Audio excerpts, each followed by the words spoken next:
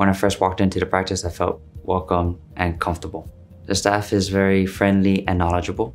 Dr. Eva was very approachable. She was able to answer all my questions and made me feel very safe inside. My procedure went very well. It was very smooth and recovery was very fast and the recommendations of after procedure really helped. My quality life has vastly improved and I'm very comfortable eating now. My overall experience is great. I would definitely recommend Oral Surgery Hawaii. They're the best.